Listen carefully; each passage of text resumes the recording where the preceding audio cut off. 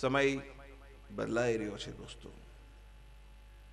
સંપત્તિ વધુ પડતી માણસને દુઃખ દેવા માંડી છે. એક નાનકડી વાત છે આ કથાનું મંગલાચરણ કરવાને માટે જાઉં છું. આ દુનિયાની માલિકોર જીવતી કોઈ પણ એવી વ્યક્તિ નથી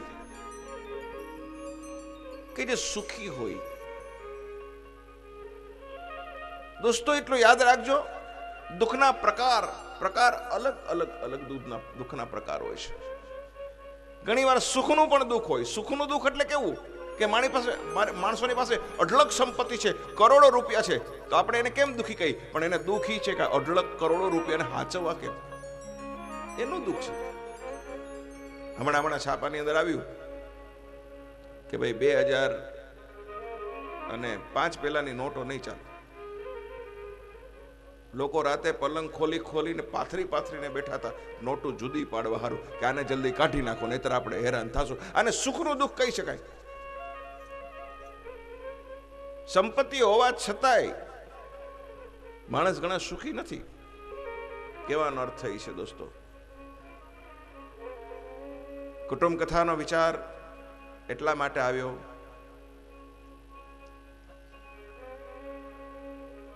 મેં સાંભળેલી વાત છે, આપને કહું છું દોસ્તો. એક ગામની માલિકો એક વૃદ્ધ બાપ છે. દીકરો છે. દીકરાની વહુ છે. દસ વીઘા રોડ જમીન છે. સંપત્તિ ને સંતતિ એટલી સારી કે જે તમને સુખ આપે. સંપત્તિ પણ તમારી પાસે એટલી હોવી જોઈએ. અને સંતતિ એટલે સંતાનો પણ એવા હોવા જોઈએ કે તમને સુખ આપે. ઘણી વાર એવું હોય છે, સંપત્તિ એટલી બધી વધારે હોય છે કે આપણે એને સાચવવાના, સાચવવામાં આપણી આખી જિંદગી ચાલી જાય. સંપત્તિને સાચવવામાં જ આખી જિંદગી આપણી ચાલી જાય. અને ઘણી સંપત્તિ એવી હોય કે સંપત્તિ આપણને સાચવતી હોય, આપણને સંપત્તિ સાચવે, એવી સંપત્તિ જોઈ સંપત્તિને આપણે સાચવવી પડે, એવી સંપત્તિ ન જોઈ. રોડ ટચની જમીન. આપ તો જાણો છો કે રાતોરાત જમીનના ભાવ આસમાને પહોંચી ગયા છે. એક વીઘા જમીનનો એક કરોડ રૂપિયો થઈ ગયો. દસ વીઘા જમીન અને દસ વીઘા જમીનના દસ કરોડ રૂપિયા થઈ ગયા. આ દીકરાને એમ થયું, બાપાને વારે વારે એમ કે તમે મને સહી કરી દો તમે મને સહી કરી દો મને જમીન આપી દો પેલા વ્રત દાદા ના પાડે. ત્રણ પ્રકારના દીકરા હોય છે. એક ઉત્તમ, બીજો મધ્યમ અને ત્રીજો કનિષ્ઠ. ઉત્તમ પ્રકારનો દીકરો છે કદી પણ પોતાની મિલકત, પોતાના પિતાની મિલકતની અપેક્ષા નથી રાખતો. જાત મહેનત કરે છે. અને એ તો એટલું જ કહે છે કે બસ, મારા બાપે મને એનું નામ આપી દીધું. ઘણું છે મારી માટે. બે મિત્રો અંદર અંદર વાતો કરતા હતા. બંનેના પિતાનું અવસાન થયેલું. એક એક મિત્રએ એના મિત્રને પૂછ્યું કે તારા પિતાજી તારી પછવાડે શું છોડી ગયા? એટલે પેલા એ કીધું કે મારા પિતાજી તો મારી પછવાડે ત્રણ બંગલા છોડી ગયા છે, પાંચ સાત ગાડીઓ છોડી ગયા છે, બે ત્રણ ફેક્ટરીઓ છે, મોટી ઓફિસ છોડી ગયા છે, ઘણી સંપત્તિ છોડી ગયા છે. કે બહુ સરસ. એટલે પેલા એ પૂછ્યું કે તારા પિતાજી શું છોડી ગયા? પેલા એ બહુ સરસ જવાબ આપ્યો કે મારા પિતાજી મારા માટે સંપત્તિ નથી છોડી ગયા, પણ મારો બાપ તો મારા માટે અવડી મોટી દુનિયા છોડી ગયો છે અને મને સંસ્કાર દઈ ગયો છે. કે બાપ કમાઈ લે તારી તાકાત એટલું. આખી દુનિયાની માલિકોથી જેટલું તારું તાકાત હોય એટલું કમા. અરે એણે મને એનું નામ દીધું છે ને એ મારા માટે મોટી જિંદગી છે, બાપ. દુનિયાના તમામ સંતાનોને આ કથા સાંભળનારાઓને પ્રાર્થના કરું છું કે તમારો બાપ તમને એનું નામ આપે છે ને એ તમને એક મોટી ઇજ્જત અને મોટા સંસ્કાર આપે છે, સાહેબ. સંપત્તિ કરતા સંસ્કાર અને નામ ખૂબ જ મોટા છે, દોસ્તો. દીકરાને એમ થયું કે આ વૃદ્ધ ડોસો લખી નહીં આપે. દીકરાએ નક્કી કર્યું કે ડોસાને પતાવી દઈ સાહેબ, તમારા રોવાડા બેઠા થઈ જશે. જ્યારે એક એક ઘટનાઓને તમે સાંભળશો ને, એક એક વાતોને તમે સાંભળશો. આપણે રામકથા ખૂબ જ સાંભળી છે અને આજ પણ રામકથાની જરૂર છે.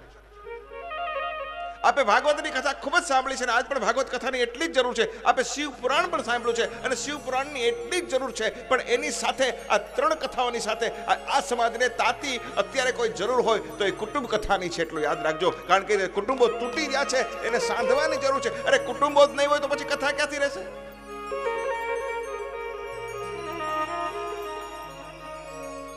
મારો કહેવાનો ભાવ, દોસ્તો એ દીકરાએ નક્કી કર્યું કે ડોસાને પતાવી દઈ દોસ્તો, લોકો દૂધ ના આપે એવા પ્રાણીઓને રસ્તા ઉપર વહુકી જાય જેને આપણે કહી દૂધ ના આપે ઢોર, વહુકી હોય એવા ઢોરને કતલખાને મોકલી દેતા હતા. મેં જોયા. રાખતા નહોતા, જોયા. આખી જિંદગી જે કૂતરાએ વફાદારીથી ઘરની ચોકી કરી હોય અને એ કૂતરાને કોઈ અસાધ્ય રોગ થઈ જાય, તો લોકો એને રસ્તા ઉપર છોડી દેતા હતા. સાહેબ છ થી સાત મહિના પહેલા મને એક ફોન આવ્યો. અશ્વિનભાઈ, અહીંયા એક હાઉસિંગ બોર્ડના ઓટલા ઉપર એક દાદા સૂતા છે.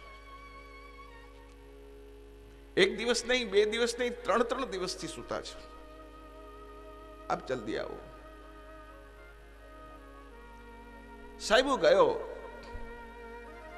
દાદો ત્રણ દિવસથી ભૂખ્યો હતો. દાદાને લાવ્યા, દાદાને જમાડ્યા.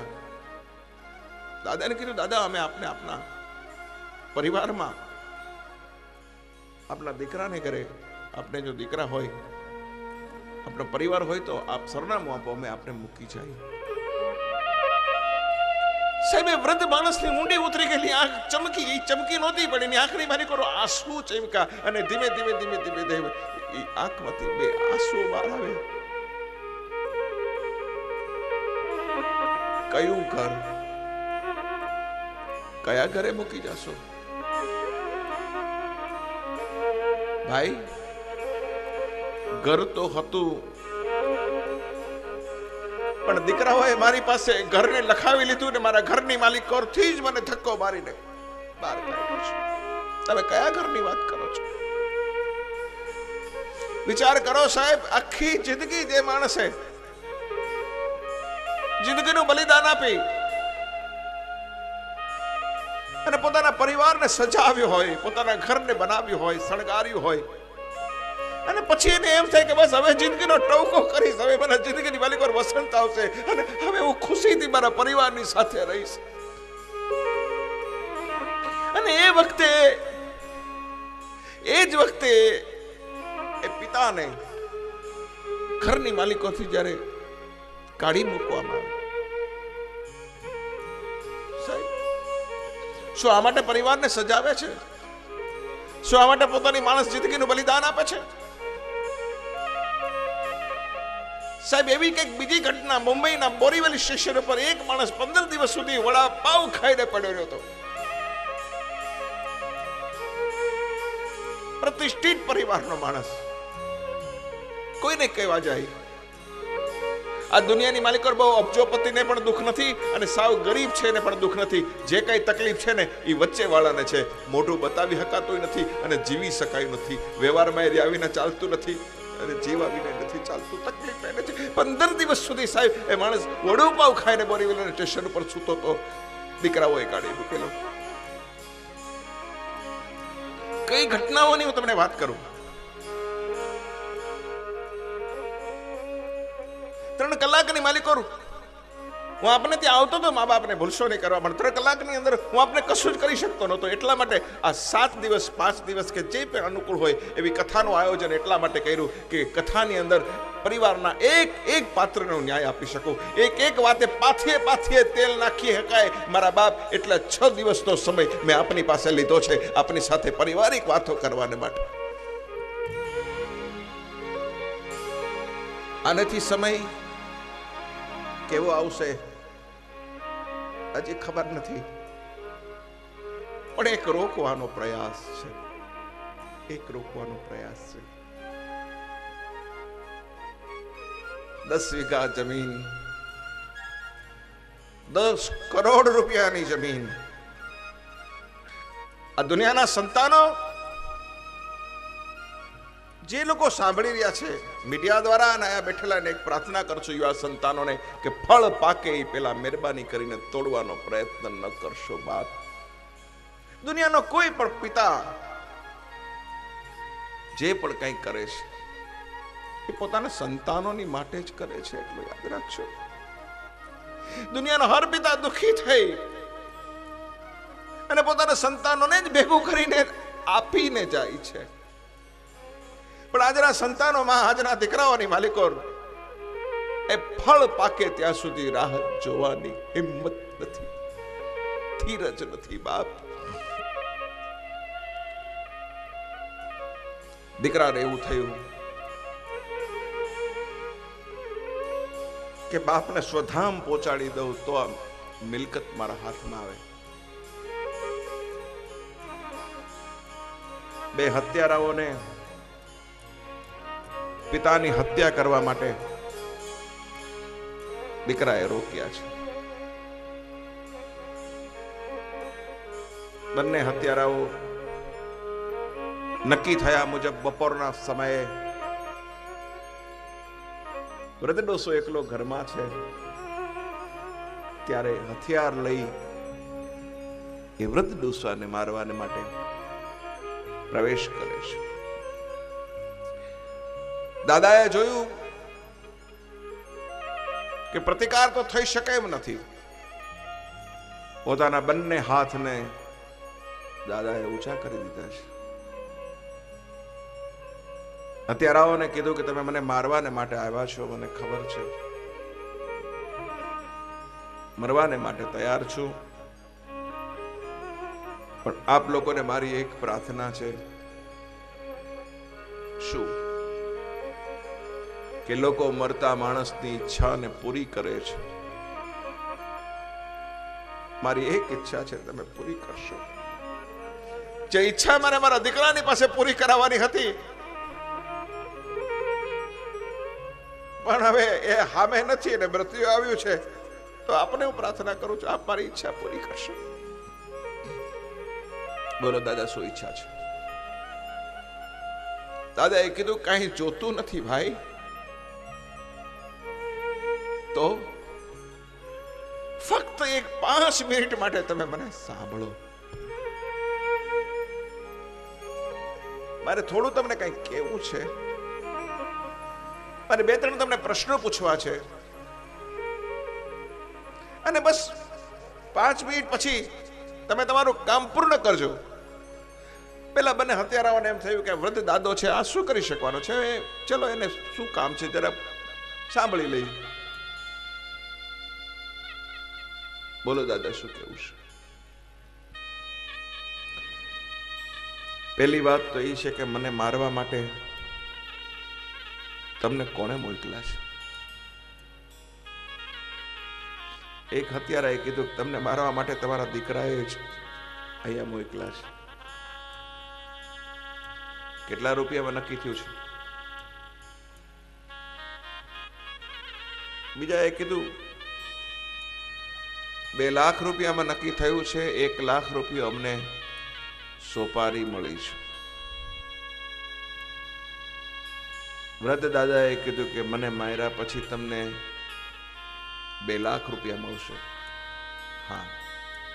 તમને બે લાખ રૂપિયા મળ્યા પછી કદાચ તમને પોલીસ પકડે. અને તમને ચૌદ ચૌદ વર્ષની સજા થાય. તો દાદાએ કીધું કે મારે તમને એ પ્રશ્ન પૂછવો છે કે બેયના ભાગે એક એક લાખ રૂપિયા આવશે. તો આ એક લાખ રૂપિયાની અંદર તમારી પત્ની અને તમારા બાળકો ચૌદ વર્ષ સુધી જીવી શકશે ખરા? પેલા અત્યારે કીધું કે ના. તમારો દીકરો ગામની અંદર નીકળશે અને તમારા દીકરાને કોઈ એમ કહેશે કે આ ખૂનીનો દીકરો જાય છે તો તમને ગમશે ખરું? પેલા અત્યારે કીધું કે ના. મને મારવો ન પડે અને તમને ચાર લાખ રૂપિયા મળે તો? પેલા અત્યારે એમ થયું કે ખૂન ન કરવું પડતું, એને જો ચાર લાખ રૂપિયા મળતા હોય તો આપણે શું કામ હત્યા કરવી જોઈએ? તો કે અમારે શું કામ હત્યા કરવી જોઈએ? ચાર લાખ જો મને મળતા હોય તો? કે ઊભા રહ્યો. પેલા વ્રત દાદા અંદર જઈ ચાર લાખ રૂપિયા લઈ આવી અને બંને હત્યારાઓને ચાર લાખ રૂપિયા આપી દે. બંને હત્યારાઓને ચાર લાખ રૂપિયા જેવા મળ્યા એટલે હત્યારાઓ એમ કીધું કે, દાદા, હવે અમારે કામ છે. તો શું? અમારે તમને કોઈ પ્રશ્ન પૂછવો છે? અમે પૂછી શકીએ? દાદા કે, પૂછો. સાંભળજો દોસ્તો, મિત્રો. પૂછો. શું પૂછવું છે? મારે એટલું જ પૂછવું છે કે તમે અમને ચાર લાખ રૂપિયા આપવા છતાંય અમારી હારે કોઈ શરત નથી કરી. તમે અમને ચાર લાખ રૂપિયા આપ્યા છતાંય તમે અમારી હારે કોઈ એવી શરત ન મૂકી કે જે બે લાખ રૂપિયા માટે અમે એક ખૂન કરવાને માટે તૈયાર થઈ ગયા હોય, તો શું ચાર લાખ માટે અમે એક ખૂન ન કરી શકીએ? તમે અમને ચાર લાખ રૂપિયા આપવા છતાંય તમે એવું કેમ ન કીધું કે મારા દીકરા તરફથી મને ભય છે, મારા દીકરા તરફથી મને ડર છે, મારો દીકરો મારું મૃત્યુ મારું ખૂન કરાવી નાખશે? તો આ ચાર લાખ રૂપિયા હું તમને આપું છું, મારા દીકરાને પતાવી દઉં હવે સાંભળજો સાહેબ. પેલા વ્રત દાદા, પેલા હત્યારાને કહે છે કે તારા હાથમાં શું છે? કે તલવાર છે? તારા હાથમાં તો કે ધારિયું છે?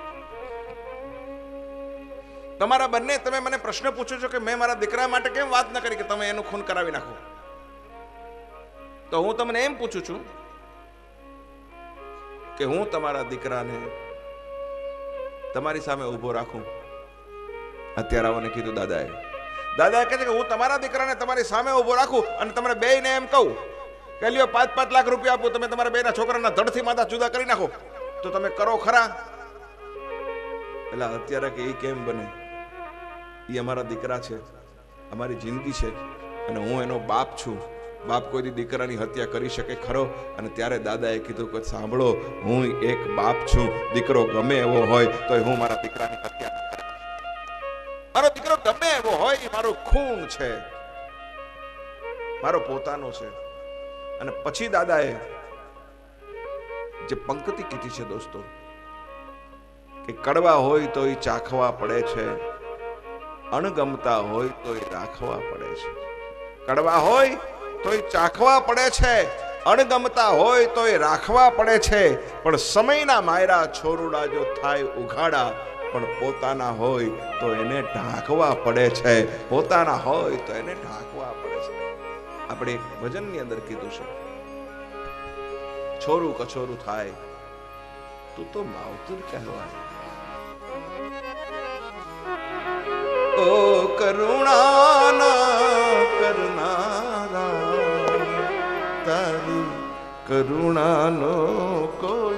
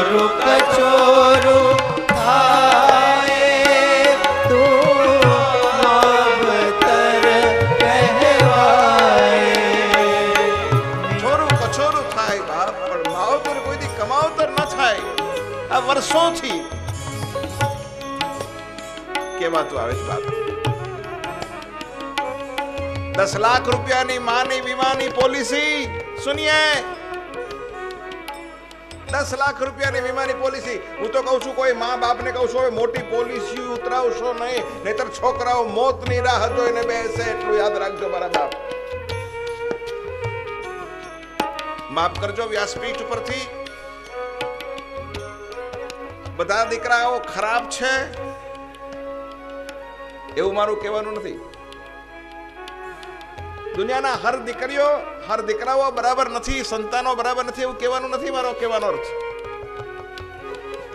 પણ સમય આવતો જાય છે એવું. કથા સમયની સાથે ચાલે છે. દીકરાઓ પણ બહુ સારા છે. ઘણા દીકરાઓને મેં ખૂબ સુંદર દીકરાઓ મેં જોયા છે. પણ એક વસ્તુ તો મેં જોઈ છે દુનિયાની માલિકો યુનિવર્સલ ટ્રુથ છે કે દીકરાઓ ગમે એવું કરે, છતાં પણ મા બાપ દીકરાઓને ચાહે ચાહે ને ચાહે. વૃદ્ધાશ્રમની માલિકો ઘણા વૃદ્ધો ચાલ્યા જાય. દીકરાઓ આખી જિંદગીની ખબર કાઢવા પણ ના આવ્યા હોય, જોવા પણ ના આવ્યા હોય. અરે અગ્નિ સંસ્કાર કરવા પણ ના આવ્યા હોય. અને છતાંય બધું પતી ગયા પછી એનો દીકરો પોસ્ટકાર્ડ લઈને આવે કે અમારા બાપા તમારા વૃદ્ધાશ્રમમાં રહેતા હતા, એ ચાલ્યા ગયા છે. એને પોસ્ટકાર્ડ અમને લખ્યું હતું કે મારા પલંગ નીચે પચાસ હજારની મારી એફડી છે એ તું આવીને લઈ જાજે. આખી જિંદગી વૃદ્ધાશ્રમનું ખાય, વૃદ્ધાશ્રમમાં રહીએ અને છોકરા હામું ન જોવે, છતાંય મૈરા પછી પોતાની મિલકત તો એ પોતાના સંતાનને જ આપીને જાય. છોરું કછોરું થાય, પણ બાપ માવતર કમાવતર ન થાય. દીકરો, અગ્નિદા દેવા નથી આવતો, સાહેબ. અગ્નિદા દેવા નથી આવતો. અમારા સરસપુર અમદાવાદની માલિકો, મેં સાંભળેલી વાત છે કે બાપ, ના આવ્યા દીકરાઓ. અને છેવટે પાંચે પાંચ દીકરીઓ ઊભી થઈ. આંખની મારી કોઈ લાલ ટસિયા આવતા હતા બાપ બાપના મૃત્યુને, કારણ કે દુનિયાની કોઈ દીકરી પોતાના બાપના મૃત્યુને ન જોઈ શકે એટલું યાદ રાખજો દોસ્તો. દુનિયાની દીકરી બધું જોઈ શકે. અને જે દીકરીનો બાપ ચાલ્યો જાય ને દુનિયાની માલિકોથી એ દીકરી માટે આખી દુનિયા ઉજળી ગઈ, આખી દુનિયા વિખાઈ જાય. કારણ કે હર દુનિયાની દીકરી માટે એની આખી દુનિયા એનો બાપ હોય છે, એટલું યાદ રાખજો. પિતા જીવતા હોય, ભલે કશું જ ન કરતા હોય, અરે કાંઈ આપતા ન હોય. પણ દીકરીના જીવનનો ઓક્સિજન છે, મારો બાપ જીવે છે. પિયરની માલિકો જ્યાં સુધી પિતા જીવતા હોય ને ત્યાં સુધી દીકરીઓ ખૂબ આવે. પણ બાપનું મૃત્યુ થઈ જાય કે માં ચાલી જાય ને પછી પછી એ દીકરીઓ પિયરમાં આવવાનું ઓછું કરી નાખે. કારણ કે જે માં અને બાપ જીવતા હોય અને જે સન્માન દીકરીઓને મળતું હોય, પિયરની માલિકો એ માતા પિતાના મૃત્યુ પછી કે પિતાના ખાસ પિતાના મૃત્યુ પછી એ એ સન્માન પછી દીકરીઓને નથી મળતું. હા, કોઈ સારો પરિવાર હોય, સારા ખાનદાન ભાઈઓ હોય, તો પિતાની મિલકતની જવાબદારી સ્વીકારે. એમ તમામ દીકરીઓની જવાબદારી પણ સ્વીકારે, એવા પણ કોઈ દીકરા હોય કે મિયાણીઓને રાછી કરે. પણ મોટા ભાગે દીકરીઓનો જીવનની માલિકો એના બાપનું સ્થાન જેનું વર્ણન ન કરી શકાય. પાંચે પાંચ દીકરીઓ ઊભી થઈ. અને પાંચે પાંચ દીકરીઓએ એક આગની દોણી હાથમાં લઈ લીધી અને ચાર દીકરીએ સ્મશાન યાત્રા ચારે ચાર કાંત આપી પણ. ત્યારે મને કહેવાની ઈચ્છા થતી હતી, બાપ, કે કળિયુગની માલિકો તમે જો દીકરા માગતા હો ને, તો એના કરતા મહેરબાની કરીને દીકરીઓ માગજો, જે તમને અંતિમ યાત્રા પણ સરસ કરાવશે અને તમારી અંતિમ યાત્રા વખતે તમારી દીકરીઓ જરૂર હાજર હશે. દીકરાઓને કદાચ સમય નહીં હોય, તમારી અંતિમ યાત્રામાં આવવાનો. તમારી દીકરીઓને સમય હશે. તમારી દીકરી હજારો કામ પડતા મૂકી અને એ- તમારો અંતિમ યાત્રાનો સમય તમારી દીકરીઓ સાચવી લેશે. ભાઈ, મારો કહેવાનો ભાવ, દીકરીઓ માગજો. દીકરાઓ સારા જ છે, એવું નથી કે કોઈ હું કોઈની ક્રિટિસાઇઝ નથી કરતો કે ભાઈ આ સમાજના દીકરાઓ ખરાબ છે એવું નથી કહેતો. દીકરાઓ પણ ખૂબ સારા છે. મુંબઈની અંદર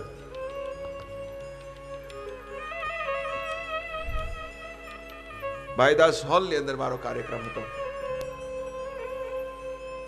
સાંભળજો. એક ભાઈ મારી પાસે આવીને મને કે અશ્વિનભાઈ મારા માતૃશ્રીને આપના દર્શન કરવા મેં ભાઈને પૂછ્યું, તારા માતૃશ્રી દીકરા ખરાબ નથી, એક કેવા ઉત્તમ દીકરા છે? એનો હું તમને ઉદાહરણ આપું છું.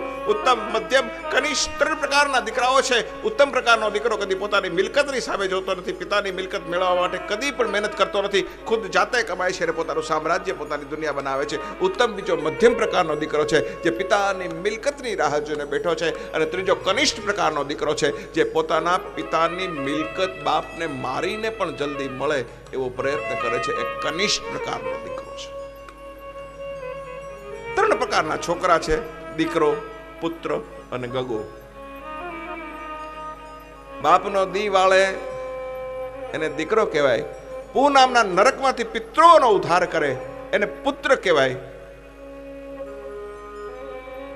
અને હર વાતની માલિકો મારી ઘરવાળીને પૂછવું પડશે મારે એને પૂછ્યા વિના કાંઈ ન થાય. બાપ એને ગગુઓ કહેવાય. ત્રણ પ્રકારના દીકરાઓ છે. મારા માતૃશ્રીને આપના દર્શન કરવા છે. શું ઉંમર છે ભાઈ તારા માતૃશ્રીની? સિત્તેર વર્ષની ઉંમર છે. મેં કીધું, ભાઈ, મને પગની તકલીફ છે, તું જાણે છે. એવું ના થાય કે વારો ઉતારો છે ત્યાં. આપના માતૃશ્રીને લઈને આપ પધારો. અને એની આંખ બેની થઈ. મારા માતૃશ્રી આવી શકે એમ નથી. કેમ ભાઈ? એટલા માટે મારા માતૃશ્રીને લકવો થયો છે, પેરેલિસિસ છે. છેલ્લા ત્રણ વર્ષથી હું ઘરની બહાર નથી નીકળતો, પણ મારે માતૃશ્રી અવિરત આપની સીડીઓ જોવે. આજ આપનો પ્રોગ્રામ હતો. માતૃશ્રીની ઉચ્છા કે આપ એને મળો. મેં તરત કીધું, ભાઈ, તો હવે તારા માતૃશ્રીને મારા નહીં, મારે તારા માતૃશ્રીના દર્શન કરવા છે. હું તારે ત્યાં આવીશ. સાહેબ, હું એમને ઘરે ગયો. ત્રીજા માળે અંદર ગયો. એક પલંગની અંદર એક વૃદ્ધમાં હતી. જેવો હું ગયો, મેં માને હાથ જોડ્યા. માં બે હાથ ભેગા કરીને વંદન કરવાનો એક પ્રયત્ન કરે. મેં માના ચરણ સ્પર્શ કર્યા મારા મોઢામાંથી માં કંઈક આશીર્વાદ દેવાનો પ્રયત્ન કરે પણ વ્રતમાં બોલી ન શકે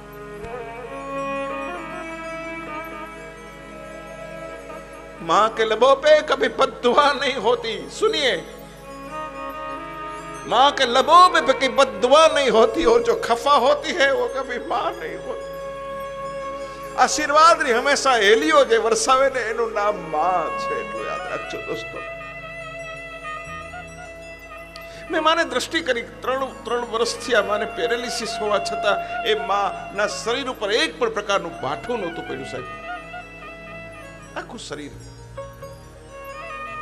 બેઠો. એ ભાઈને મેં વાત કરી, મેં કીધું ઘરમાં બીજું કોણ કોણ છે? દીકરા કેટલા છે? દીકરીઓ કેટલી છે? અને મને કે, અશ્વિનભાઈ, કોઈ નથી. આ ઘરની માલિકો હું અને મારી માં બે જણા છે. આપના લગ્ન થયા હતા.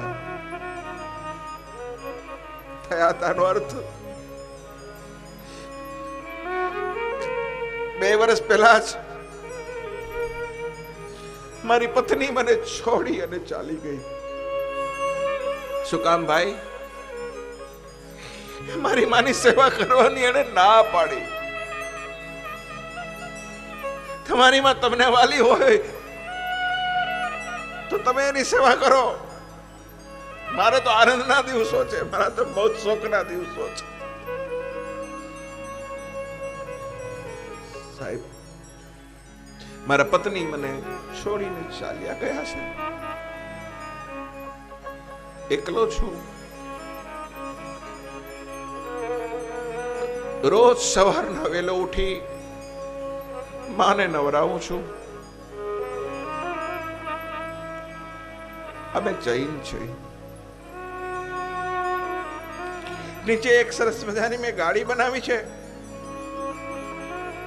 એ ગાડીની માલિકો મારી માં સૂઈ શકે અને થોડું પતરું કપાવીને એક બારી બનાવી છે.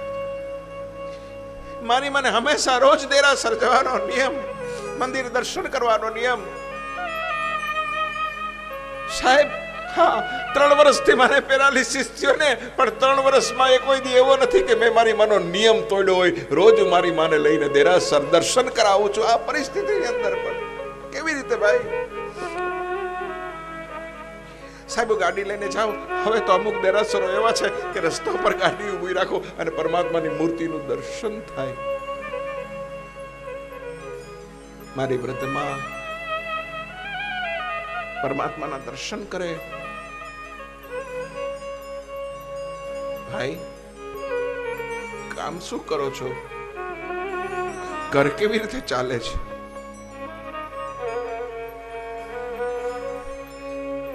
સાહેબ, હા. આ ધરતી પર જીવતા છે ને બધા માણસો નથી. તો આની માલિકો કોક કોક દેવતાઓ પણ છે.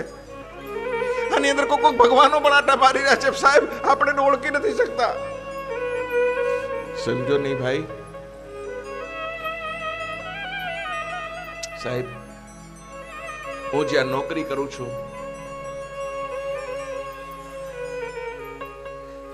માની સેવા કરી અને રોજ દસ વાગે નોકરીએ પહોંચવાનું હોય સાહેબ, હા, કોકની સાડા દસ થઈ જાય. સાહેબ કોકની અગિયાર વાગી જાય. મારી ઓફિસની માલિકો સવાસો માણસનો સ્ટાફ અને હું મોડો પહોંચું, મારા કેબિનની માલિકો મારા સાહેબ, મારા બોસ મને ખૂબ ખીચાય ખૂબ ખીચાય ખૂબ ખીચાય સાહેબ. હું કશું ન બોલું. એક દિવસની એવી ઘટના ઘટી કે મારા સાહેબે મને કહી દીધું કે તું બોલતોય નથી અને તું સમય પણ સાચવી નથી શકતો. આવતીકાલથી તું નોકરી નહીં આવતો. નોકરીમાંથી રાજીનામે મૂકી દે. મારે તારા જેવા માણસની જરૂર નથી. સાહેબ એમની ઓફિસની માલિકો ચક્કર આવ્યા હું પડી ગયો. મારા કર્મચારીઓને ખબર પડી. બધાએ મારા બોસની પાસે જઈ મારા સાહેબની પાસે જઈ અને હાથ જોડીને માફી માંગી કે સાહેબ, એને નોકરીમાંથી દૂર ન કરશો. તમે એમ કહેશો સાહેબ કે એનું કામ અમારે કરવાનું છે તો એનું કામ અમે કરશું સાહેબ, પણ એને નોકરીમાંથી દૂર ન કરશો સાહેબ. મારા સાહેબે પૂછ્યું કે તમને બધાને આટલી બધી એના પ્રત્યે લાગણી કેમ છે? કારણ શું છે? મને કહો. મારો કહેવાનો ભાવ આપને એ બતાવી રહ્યો છું કે દુનિયાના બધા દીકરાઓ પણ ખરાબ નથી. ઘણા દીકરાઓ ખૂબ શ્રવણ જેવા છે, ખૂબ સારા છે. મારા કર્મચારીમાંથી કોઈ મારા સાહેબને કીધું સાહેબ, એમના માને ત્રણ વર્ષથી પેરાલિસિસ થઈ ગયો છે. એના ઘરની અંદર કોઈ નથી. સાહેબ, એની માની સેવા કરવા વાળું કોઈ નથી. સામાન્ય પરિસ્થિતિ છે સાહેબ. એની માને નવરાવે. માની રસોઈ બનાવે. પાડોશીને ભલામણ કરી. અને સાત આઠ કલાક સમય નોકરી આવે. બપોરે નથી સમયમાં આગળ પાછળ થઈ જાય છે સાહેબ. તરત દીકરાને પોતાની ચેમ્બરમાં બોલાવીને એમ કહી દીધું. એમના સાહેબે આવતીકાલથી તારે ઓફિસ આવવાનું નથી. બિલકુલ કાલથી ઓફિસ ના આવશો તમે. પણ સાહેબ મારી માં, સાહેબ મારો પરિવાર, સાહેબ મારી માં એ જ કહું છું ભાઈ, આવતીકાલે તું ઓફિસ ના આવતો, આવતીકાલે હું તારા ઘરે આવું છું. આવતીકાલે મારે તારી માને મળવું છે. આવતીકાલે મારે તારી માના દર્શન કરવા છે. સાહેબ, બીજે દિવસે મારા ઘરે બરાબર દસ વાગે મારી ઓફિસ ઓફિસર મારો બોસ મારો સાહેબ મારા ઘરે આવ્યો. મારો સામાન્ય ઘર ત્રણ દાદરા ચડીને આવ્યો, સાહેબ. અબજોપતિ મારી માને ચરણ સ્પર્શ કરે છે, મારી માને ઓળખાણ કરાવું છું કે બા આમની ઓફિસની માલિકમાં હું કામ કરું છું. મારા સાહેબ આવ્યા છે. આભાર વશ થઈ અને માં બે હાથ ઉછા કરીને પગે લાગે છે કે મારા દીકરાને તમે સાચવો છો. સાચી વાત છે. માને જોવે છે, માને બે હાથ જોડી બાજુમાં ખુરશી પર બેસે છે.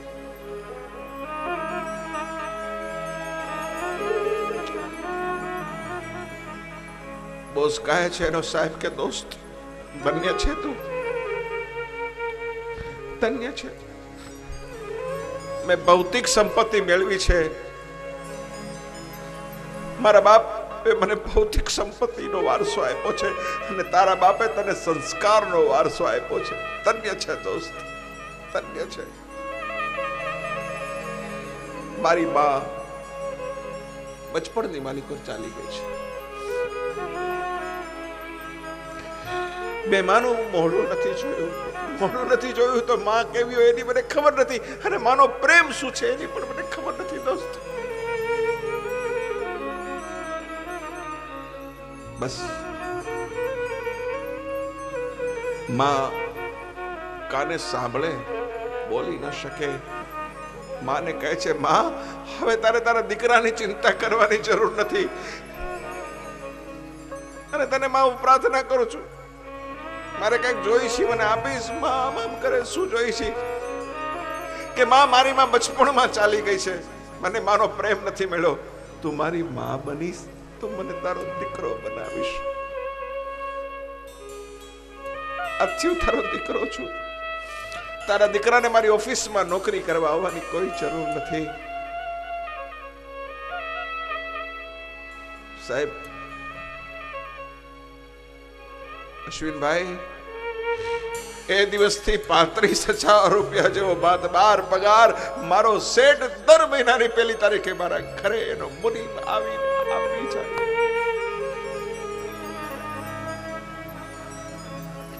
પણ મને એમ થયું કે હું કોઈનું હરામનું કેમ ખાઉં? મારે કંઈક મહેનત કરવી જોઈએ. એટલે જે મારાથી જેટલું કામ થાય, એટલું કામ હું ઘરે લઈ આવું. માની સેવા કરું અને માની પાસે બેઠો બેઠો મારા શેઠનું કામ જે દીકરાએ પોતાની માની સેવા કરવા માટે પોતાની જિંદગીનું પણ બલિદાન આપી દીધું દોસ્તો. એવા દીકરા પણ સમાજની માલિકો જીવે છે. સાહેબ, માં, બાપ એ દુનિયાના એવા પાત્રો છે જે હંમેશા કરુણા જ વર્ષાવે છે દોસ્તો. આપણે ગમે એટલું મા બાપની સાથે કરીએ છતાંય મા બાપ કડવા ઘૂંટડાઓ પાઈ મા બાપને, છતાંય મા બાપ આપણે આને રાજી થાય. કારણ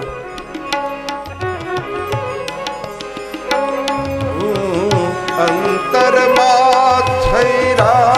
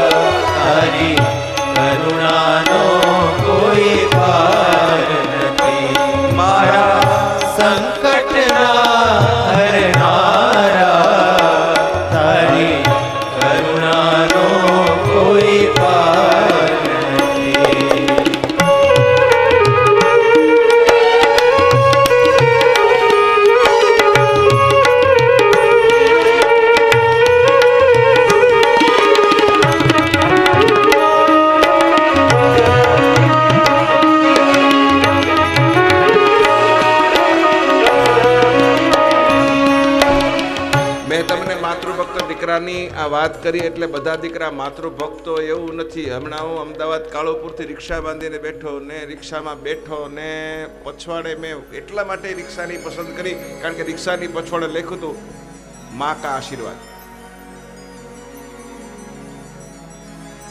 એટલે હું રાજી થયો. ખૂબ રાજી થયો. આ નાની નાની નાના નાના વાહનોમાં જ આવું બધું લખ્યું રિક્ષાઓમાં લખ્યું હોય, ખટારામાં લખ્યું હોય.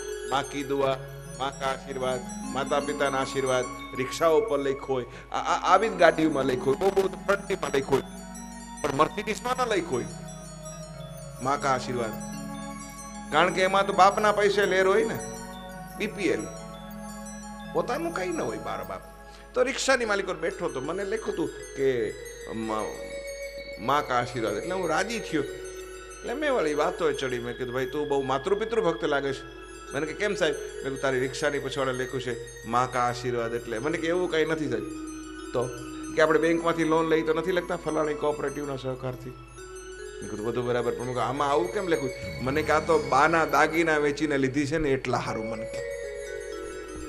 હવે જે માને અડવી કરીને મારા બાપ, તો દુનિયાના બધા દીકરા છે, માત્ર ભક્ત નથી જ. માની દસ લાખ રૂપિયાની પોલિસી, દસ લાખ રૂપિયાની પોલિસી. એને ખબર પડી દીકરાને કે માની દસ લાખ રૂપિયાની વીમાની પોલિસી છે. તો મળે કેમ? કન્ડિશન એવી હતી કે એક્સિડન્ટમાં માનું મૃત્યુ થાય, તો જ માની દસ લાખ રૂપિયાની વીમાની પોલિસી મળે. સાહેબ, દીકરાએ નક્કી કર્યું, રિક્ષાવાળાને. બે લાખ તારા. ધક્કો માર. એક દસ લાખ રૂપિયા માટે. સાહેબ, જેનું મૂલ્ય ન ગણી શકીએ, આંકી ન શકીએ એવી માં. એનો દીકરાએ એક્સિડન્ટ કરાવ્યું, સાહેબ. દસ લાખ રૂપિયા મેળવવા માટે. એટલા માટે આ કથા, કુટુંબની કથાનું આયોજન એટલા માટે કરીએ છીએ કે મા બાપ શું છે એનું મહત્વ સમજાવવાનો આપણે પ્રયત્ન કરીએ છીએ. દોસ્તો, સમય ત્યાં સુધી તો બદલાણો છે. વીસ વર્ષની યુવાન દીકરી સુરતની માલિકો, એક બાવન વર્ષના પરણેલા પુરુષના પ્રેમની માલિકો પડી. કોણ બચાવે, કોણ સમજાવે આ છોકરીને હવે? હું તમને કુટુંબ કથાના હેતુઓ બતાવું છું હજી કે આ કુટુંબ કથાનો વિચાર મને શું કામ આવ્યો? આવા આવા અનેક પ્રસંગો મારી પાસે આવ્યા એક વીસ વર્ષની યુવાન છોકરી જે બાવન વર્ષના પુરુષના પ્રેમની માલિકોર પડે. તો એ મા બાપની હૃદયની વેદનાઓ કેવી હશે? આવી દીકરીઓને બચાવવા માટે કુટુંબ કથાનું નિર્માણ થયું એનું આયોજન થયું દોસ્તો હજી એનાથી આગળ ઘટનાઓ તમને કહું चंद्रापुर ની मालिक और महाराष्ट्र के अंदर में गया था कार्यक्रम के लिए वहां तो मैंने क्या देखा पड़ोस में दोनों रहते थे पड़ोसी थे आठ વર્ષથી છોકરી ઓલા છોકરાને રાખડી બાંધે આ સત્ય ઘટના છે આઠ વર્ષથી સાહેબ, આઠ વર્ષથી રાખડી બાંધતી હોય તો છોકરીના મા બાપને શું હોય કે આ સંબંધો કેવાય છે? હે? કેટલો બધો વિશ્વાસ હશે સંબંધો ઉપર?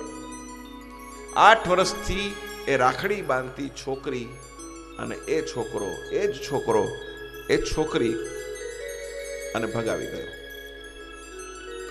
હું અહીંયા બેઠેલી માતાઓને આની અંદર છ દિવસની અંદર આપણે ઘણું શીખવાનું છે. હું અહીંયા બેઠેલી અનેક માતાઓને દીકરીના પ્રસંગ આવશે ત્યારે પણ કહીશ. હું તો ત્યાં સુધી કહું છું કે તમારી દીકરીને મહેરબાની કરીને કોઈને ઘરે રાત રોકાવા ન જવા દો એટલી હાથ જોડીને મારી બધી બહેનોને, દીકરીઓને પ્રાર્થના છે.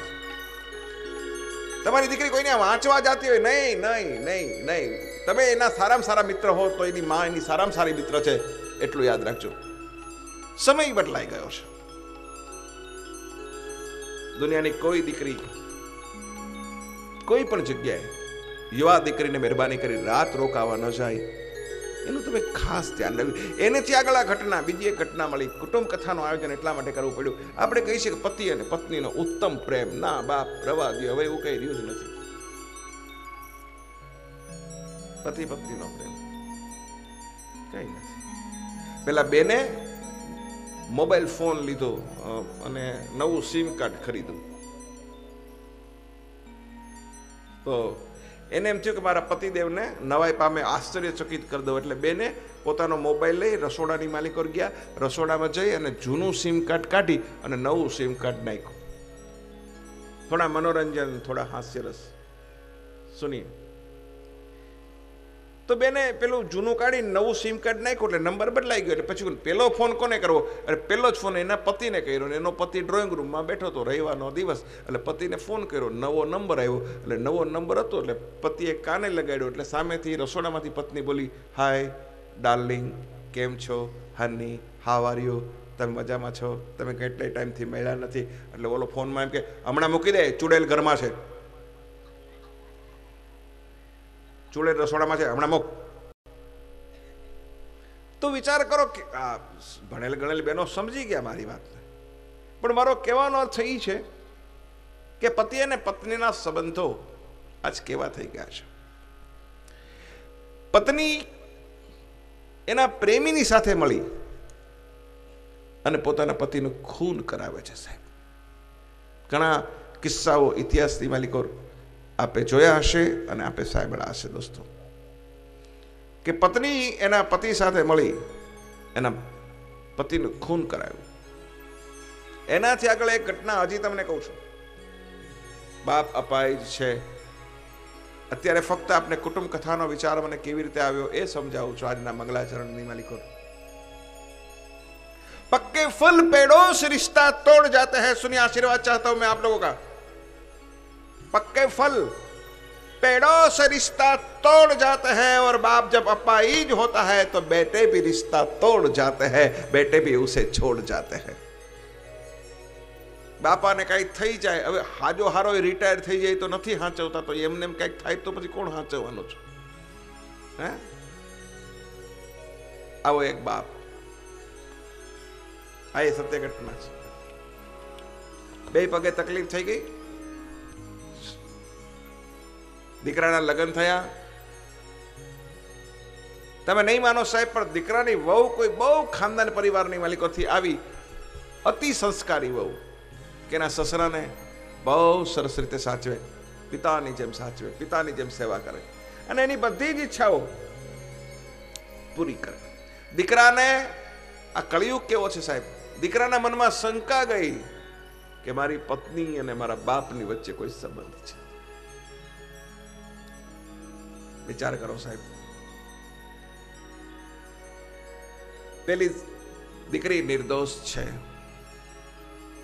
પગે તકલીફ છે એવા પિતાની. એ ખૂબ સેવા કરે છે. ટૂંકમાં ઘટના તો ટૂંકમાં આપને કહું છું. ત્રણ ચાર વાર એ બાપ ઉપર હુમલો કરીને પિતાને મારવા માટેનો દીકરાએ પ્રયત્ન કર્યો, પણ કોઈને કોઈ આવી જાય અને બચી જાય.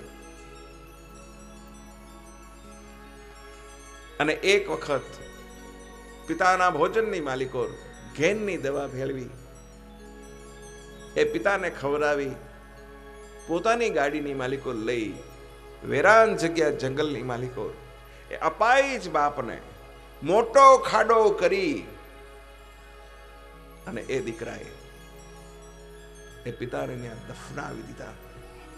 દાટી દીધો એ બાપને. આવા અનેક પ્રસંગોમાંથી કુટુંબ કથાનો બાપ મને વિચાર આવ્યો છે કે સમાજની માલિકો આવી કુટુંબ કથાની ખૂબ જ જરૂર છે એટલું યાદ રાખજો દોસ્તો. આજના યુવાનોને વૃદ્ધ મા બાપો ગમતા નથી. આજની છોકરીઓ સગાઈ વખતે પૂછે છે how many dustbin in your house તમારા ઘરની માલિકો આ ડોહા ડોગરા કેટલા છે કચરાના ટોપલા? એવું આજની છોડીઓ પૂછે છે. હા. ભણેલી સુધર્યું સુધરેલિયું माफ करजो शब्द का गलत प्रयोग हो जाए तो आपके पास પોતે તો કોઈ દી ડોહી થવાની જ ન હોય આખી જિંદગી એ ઐશ્વર્યા રોય જ રહેવાની હોય પૂછે છે how many dustbin in your house વૃદ્ધ મા બાપો છોકરાઓને ઘરની માલિકો ગમતા નથી યુવાન વહુને યુવાન છોકરાઓને ભારત અને પાકિસ્તાનની મેચ બરાબર જામી હોય સાંભળજો સારામાં સારો બેટ્સમેન રમતો હોય અને એ વખતે જાહેરાત આવે તો જોનારને જાહેરાત ન ગમે. કે સારામાં સારો બેટ્સમેન સચિન તેંડુલકર રમતો હોય, સદી થવાની તૈયારીમાં હોય અને બેટથી ફટકાઈ રહ્યો એ દડાને. અને એ જ વખતે જાહેરાત આવે તો જોનારો માથું કૂટે, બહુ શેર, જાહેરાત ક્યાં આવી?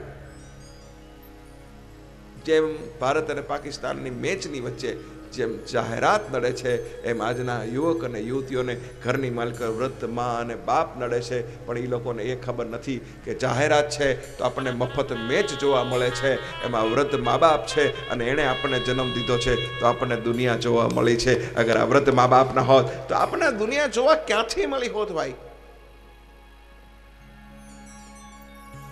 મા બાપ એ જન્મ દીધો છે તો આપણે દુનિયાને જોઈ છે દોસ્તો.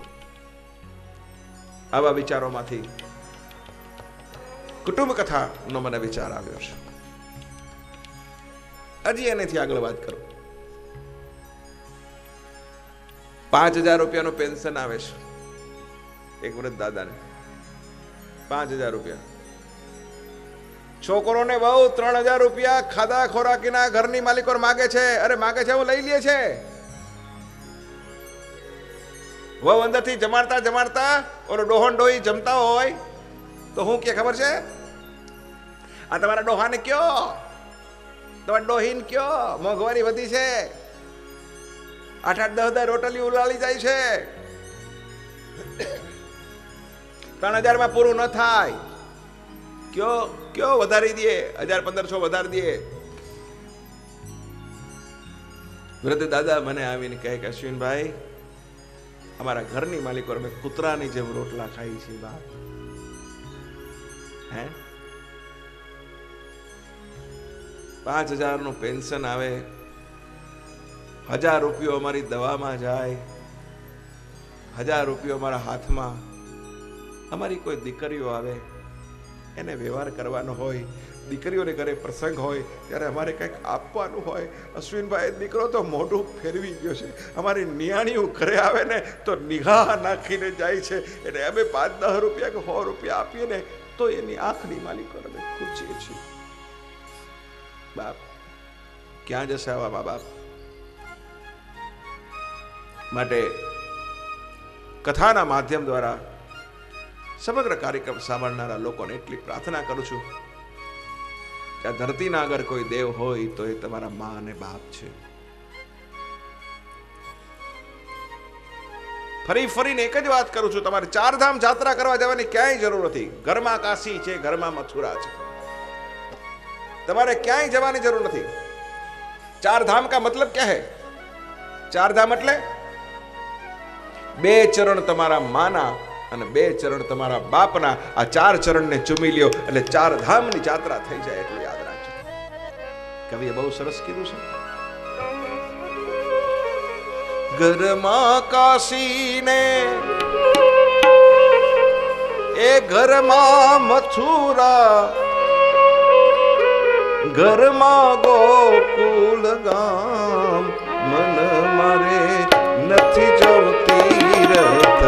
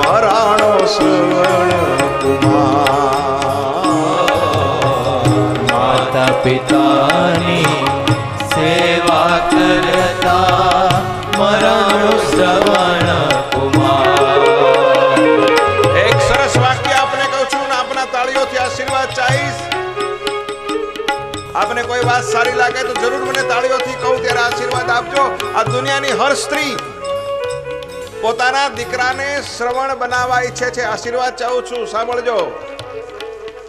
આ દુનિયાની હર સ્ત્રી પોતાના દીકરાને શ્રવણ બનાવવા ઈચ્છે છે, પણ એનો પતિ શ્રવણ થાય તો એને થવા દેતી નથી. એ સો ટકાની વાત છે, એટલું યાદ રાખજો. મારો વર એની માની સેવા કરવી જોઈએ. છોકરો મારી કરે. વાહ, ભાઈ, વાહ, તારો સ્વાર્થ, વાહ. સાચી વાત છે દીકરો શ્રવણ જોઈ છી. પણ વર શ્રવણ ના હોવો જોઈએ. બાપ, સુનિએ, શ્રવણના મા બાપ અંધ નહોતા. બહુ જ ભાવ છે સુની ઉચ્ચ કોટીના આત્મા હતા. બહુ પુણ્યશાળી હતા. પરમાત્માની મારી પર અનન્ય અકૂટ શ્રદ્ધા રાખનારા હતા. પણ એમના નસીબની અંદર સંતાન નહોતું.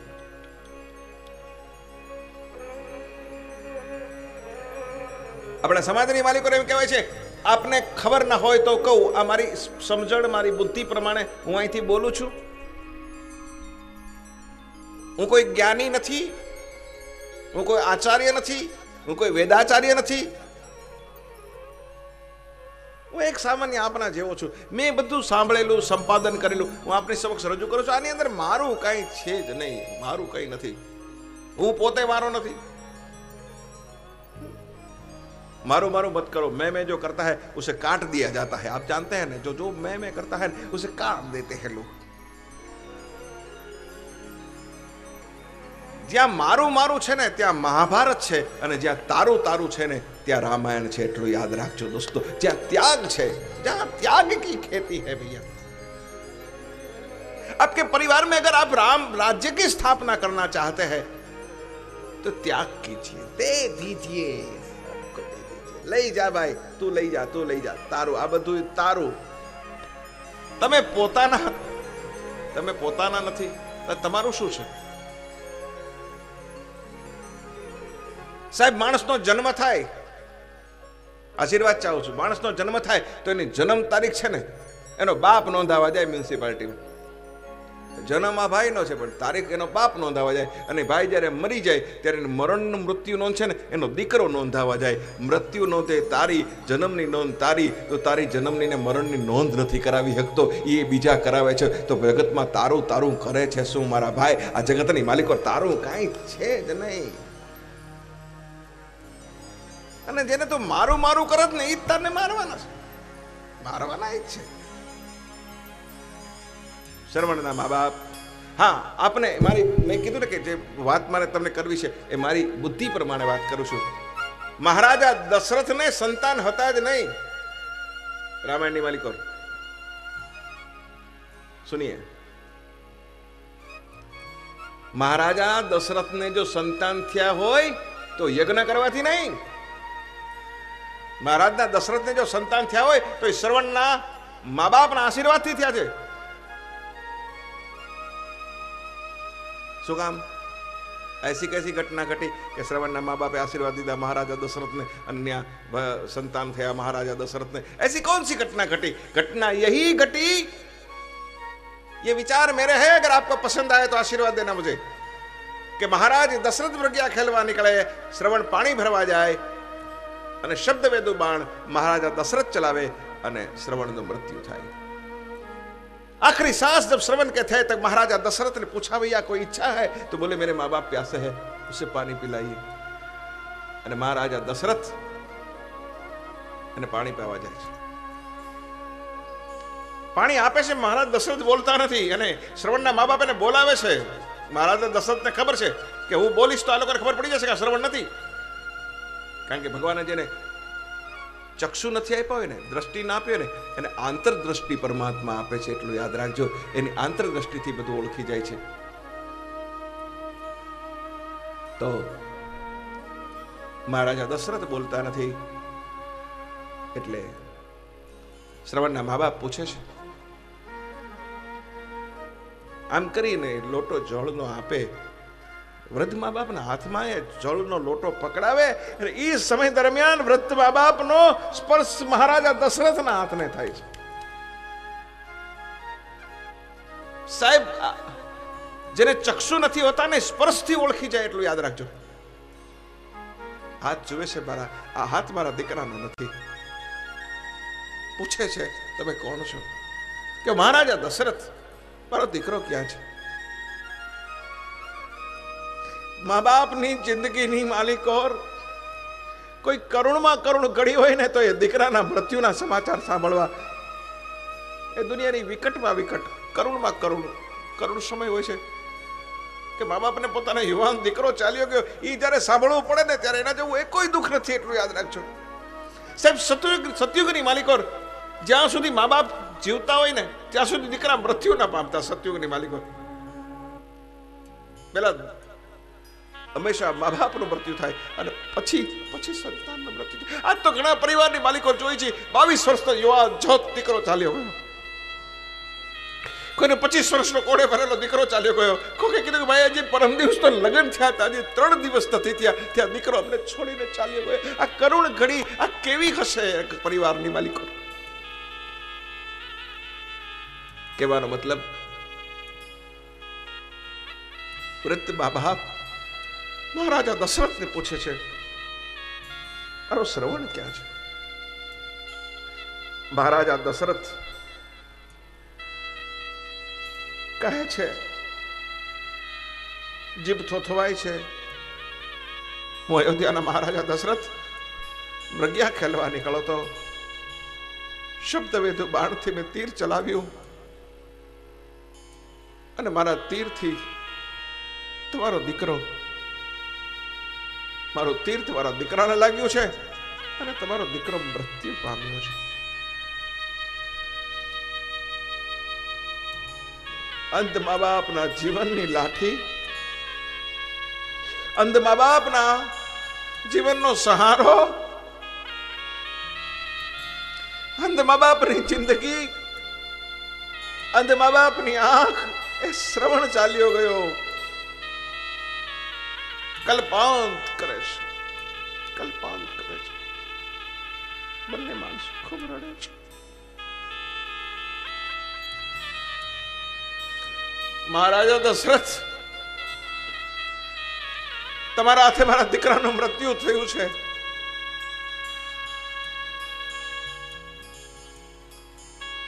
અમે મા બાપ અમારા દીકરાના વિયોગની માલિકો જે રીતે તલસી તલસી અને શ્વાસ ભરીએ છીએ. હવે અમે જીવશું નહીં મહારાજ. મારો દીકરો મારી જિંદગી હતી. પણ અમે તને શ્રાપ આપીએ છીએ કે મહારાજા દશરથ જેવું મૃત્યુ અમારું થયું કે અમારા મૃત્યુ વખતે મારા દીકરા મારી પાસે નથી. મારો દીકરો એવી રીતે તારું મૃત્યુ પણ થશે ત્યારે તારો દીકરા તારી પાસે સંતાન નહીં હોય. તારો એક પણ દીકરો તારી પાસે નહીં હોય. હવે મહારાજા દશરથ તો સંતાન જ નહોતા. બાપ. પણ શ્રવણના મા બાપનો શ્રાપ સાચો પડે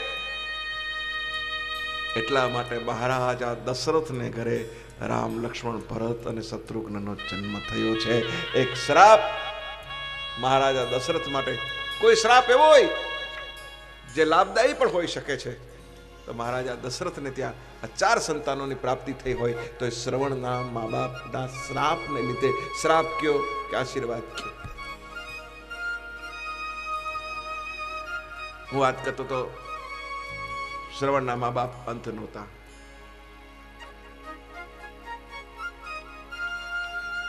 પુણ્યશાળી આત્મા ખૂબ જ પરોપકારી આત્મા, પરમાત્મા એની પાસે માગે છે.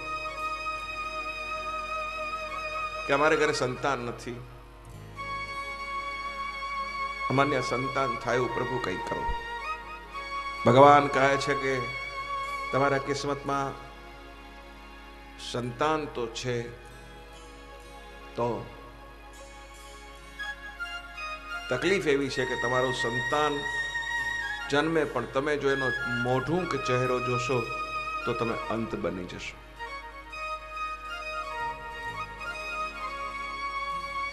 સ્ત્રી છે ને, આ દુનિયાની માલિકો સ્ત્રીના જીવનનો મોટા મોટો આનંદ હોય તો એ માં બનવાનો છે. અરે ભલે આવું કઈ થાય નહીં, તમે ભગવાનની પાસે માંગી લ્યો, આપણે શ્રવણનું મોઢું નહીં જોઈ. કેવો પરમાત્માને આપણા વાંધ્યા મેળા ભાંગે? પરમાત્મા પ્રસંગ લાંબો છે, પણ ઝડપથી કહું છું. પરમાત્માની કૃપાથી શ્રવણનો જન્મ થાય છે, પણ શ્રવણનો જન્મ થતાની સાથે એ મા બાપ પોતાની આંખની ઉપર પાટા બાંધી દે છે. શ્રવણનું મોઢું અમે નહીં જોયું ધીમે ધીમે શ્રવણ મોટો થાય પણ માં છે ને મમતાને રોકી શકતી નથી મારે મારા દીકરાનો મોટો જોવું છે આપણો દીકરો કેવો છે મારે જોવો છે પતિ કહે છે કે તને ખબર છે શરત છે કે આપણે શ્રવણનું મોઢું જોશું તો આપણે બે અંધ બની જશું કઈ વાંધો નહીં. બહુ દુનિયાને જોઈ લીધી, હવે મારે દીકરાને જોવો છે. યે માં હે. બહુ દુનિયા દેખી મેને. અબ મુસે બેટે કો દેખના હે. મારે મારા દીકરાનું મોઢું જોવું છે. ટૂંકમાં પ્રસંગ કહું, તો એ માં અને બાપ પોતાની આંખ પરથી પાટા ખોલે છે અને શ્રવણનું મોઢું જોવે છે. કુદરતના નિયમ પ્રમાણે, વિધાતાના લેખ પ્રમાણે શ્રવણના મા બાપ દ્રષ્ટિને ગુમાવે છે. કહેવાનો અર્થ થઈ છે, દીકરાને મેળવવા અને દીકરાના મોઢા જોવા માટે આ દુનિયાના મા બાપો અંધ બનવા પણ તૈયાર થઈ જાય છે. આ મા બાપોની લાગણી પોતાના સંતાનોની પ્રત્યે છે કે મેં અંધાપાને બેઠશું પણ અમારા મારા દીકરાના મોઢા જોવા છે. એવા તો કંઈક દીકરાઓના મોઢા જોવા દુનિયાના મા બાપો બેઠા છે. મારા બાપ જરા દીકરા પરદેશ વયા ગયા છે. આમોય નથી જોતા. રાહ જોઈને अभी दिवाली आएगी मेरा बेटा आएगा क्या ખાક આએગા આસામાં આસામાં કેટલાય દુનિયાના મા બાપો આજ પર દીકરાના મોઢા જોવા માટે બેઠા છે. બાપ, શ્રવણ બનજો. માતા પિતાની સેવા કરજો.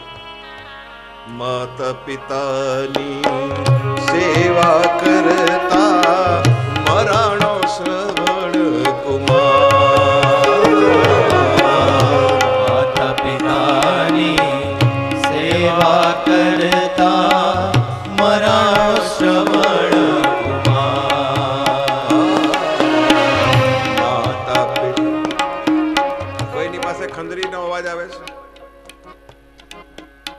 આપની જગા ઉપર ઊભા થઈ નાચી શકો છો નાચો બાપ તમારે માટે આગળ જગ્યા પણ રાખી છે આપ આગળ આવીને પણ નાચી શકો છો क्योंकि जी जो नाचेगा ना उससे ही परमात्मा मिलेगा नर्तन और कीर्तन दोनों साथ में होता है मीरा नाची थी इसीलिए भगवान कृष्ण मिला सावरिया मिला और जूनागढ़ का नरसिंह रास रही तो बाप भगवान मिला કોણ નાચ્યું નથી એક બાર સી ભોલે ભંડારી બન के ब्रिज की नारी गोकुल में आ गए भगवान महादेव उसने भी नृत्य किया था કોણ નથી નાચ્યું બાપ અને જે નાચી શકે ને પરમાત્મા માટે ઘણાને પોતાની મોટાઈ બહુ નડે કે આપણે નચાય ખરું? ના નચાય. નાચો ને મારા બાપ તો હૃદય રોગ ન થાય એટલું યાદ રાખજો. નાચો. તમે શું છે એ થોડીક વાર માટે ભૂલી જશો ને તો જિંદગી જીવવાની તમને મજા આવશે બાપ. ભૂલી જાઓ. વાઘજીભાઈ એનો ફોટો મેં બહુ નજીકથી જોયો. દૂરથી જો તમને ખબર ન પડી. પછી મેં પૂછતો હતો દિનેશભાઈને. દિનેશભાઈ એક વાત કહું? હા. આ વાઘજીભાઈની લોકચાહના, આ વાઘજીભાઈનું સ્થાન બધાના હૃદયમાં છે, પણ મેં એનો ફોટો જોયા પછી મને એમ લાગે છે કે એ માણસે આશીર્વાદ ચાહું છું મારા શબ્દ કહે તો. તો આ માણસે પોતાનું શરીર નહોતું શણગાર્યું. સાહેબ, એણે પોતાની જિંદગીને શણગારી હતી, એટલું યાદ રાખજો એણે પોતાની જિંદગી શણગાર તમે ફોટાની માલિકો જુઓ. એમના વાળ જુઓ, નેચરલ છે, તમે જુઓ. નેચરલ ઓળેલા મને દિનેશભાઈ ઈ જ કહેતા હતા કે, અશ્વિનભાઈ વાઘજીભાઈ બાહ્ય દેખાવ કોઈ દી કર્યો જ નથી. એ અંતરનો માણસ હતો બાપ, હૃદયનો માણસ હતો મારા બાપ. એવા હૃદયના સ્વચ્છ માણસો જ્યારે હોય છે ને મારા વાલા, ત્યારે જ ત્યારે જ એની પછાડે મોટી કથા નિર્માણ થાય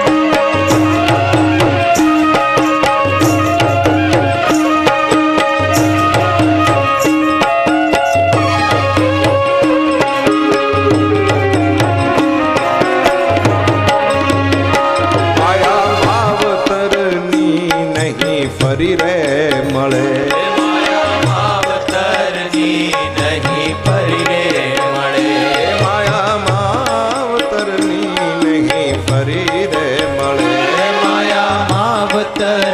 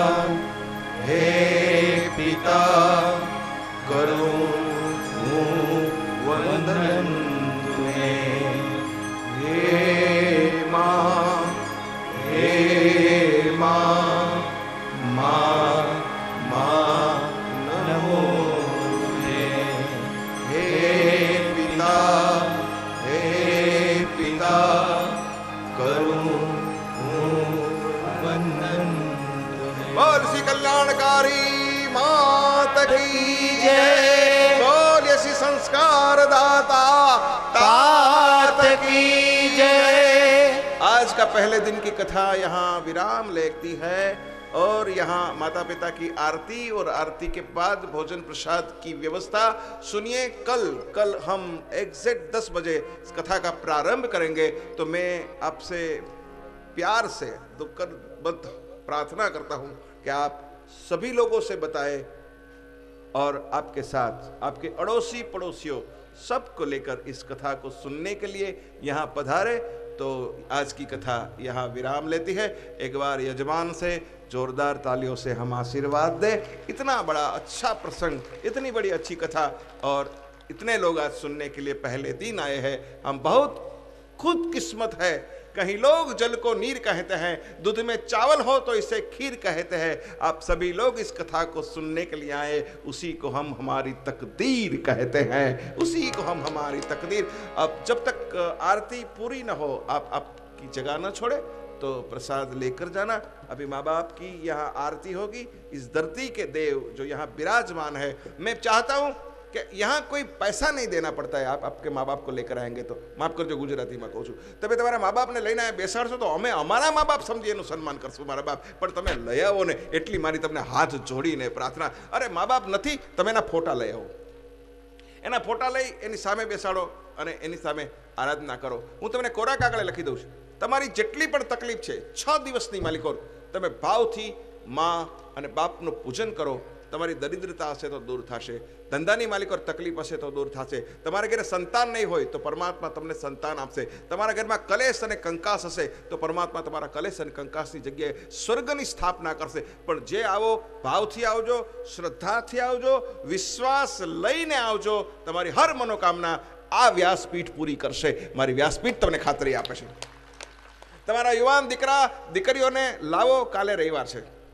તમે અહીંયા લઈ આવો, એને હાંચવી રાખવાની જવાબદારી મારી મારી છે. હજી તો આ પહેલા દિવસની બેટિંગ છે. છોકરાઓને મજા આવે, એવું બધું પણ આપણે સરસ સરસ કરશું. આનંદ મંગલ કરું આરતી. માને બાપ તમારી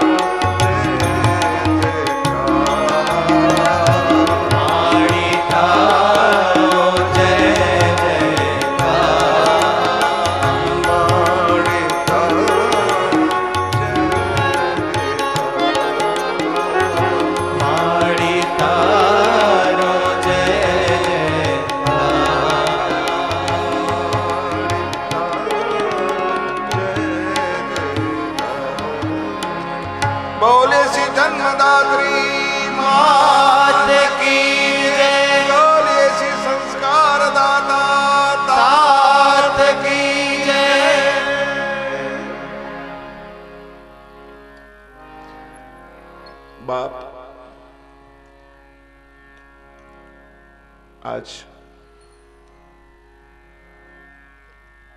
રાપરની ધીંગી ધરા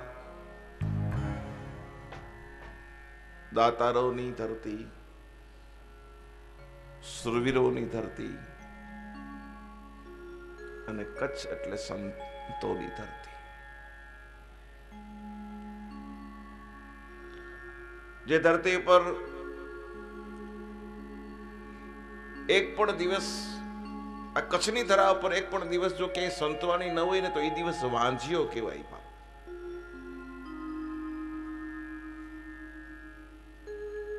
કોઈ ના કોઈ જગ્યાએ આખી કચ્છની માલિકો તમને ક્યાંક સંતોની વાણી સાંભળવા મળે, ક્યાંક ભજનોની વાણી સાંભળવા મળે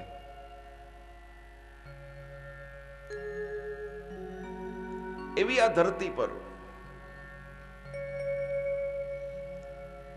કલ્યાણકારી કુટુંબ કથા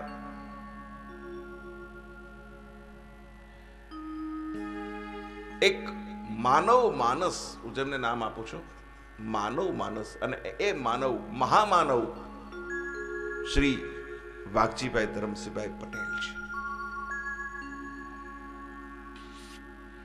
દુનિયાની હર વ્યક્તિ જીવે છે. પણ વ્યક્તિ ગયા પછી આટલું મોટું સન્માન જો કોઈ વ્યક્તિને મળ્યું હોય, તો ખરેખર એ સન્માન વાઘજીભાઈ ધરમસિંહભાઈ પટેલને મળ્યું છે એટલું યાદ રાખજો. ઠીક છે, નાના ભજનોની સંતવાણીનું આયોજન થઈ શકે, કદાચ પુણ્યતિથિ ઉપર કોઈ શ્રદ્ધાંજલિનું આયોજન શકે, કોઈ સત્સંગ સભાનું આયોજન થઈ શકે, પણ માસિક પુણ્યતિથિ નિમિત્તે આટલી મોટી એક કલ્યાણકારી કુટુંબ કથાનું આયોજન રાપરની ધરતી ઉપર તો આજ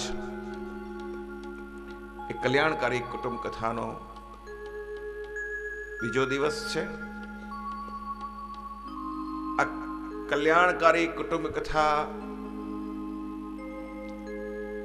શ્રી વાઘજીભાઈ ની માસિક પુણ્યતિથિએ. મને એટલો આનંદ છે કે કોઈ બાપે પોતાની દીકરીનું લગ્ન કરી નાખ્યું હોય. અને લગ્ન થઈ ગયા પછી દીકરીને સાસરાવાળા એવા મળ્યા હોય કે જેને લગ્ન પછી પંદર પંદર વર્ષના વાણા વાઈ ગયા હોય પંદર પંદર વર્ષના સમય સુધી એ દીકરીએ લગ્ન કરીને ગયા પછી પોતાના બાપના ઘરનું ઝાડવું ન જોયું હોય. અને છતાંય હસતી હસતી પોતાના સાસરામાં જીવતી હોય, એવી બે જ દીકરીઓ આ જગતની છે. એક સીતા અને બીજી સરિતા. કવિને બહુ અચ્છા લિખા હા. કે કેવા સુકને પર્વતે આપી હશે વિદાય? કેવા? સુકને પર્વતે આપી હશે વિદાય કે નિજ ઘરથી નીકળી નદી પાછી ફરી નથી. એક સરિતા અને એક નદી નદી પહાડોમાંથી નીકળે, પિતાના ઘરથી નીકળે અને પછી સમુદ્રને પોતાના પ્રિયતમને મળે. પણ કોઈ નદી સમુદ્રમાંથી નીકળીને પહાડ તરફ નથી જતા નહીં જોયું આપણે એવી દીકરી પંદર પંદર વર્ષના વાણા વાઈ ગયા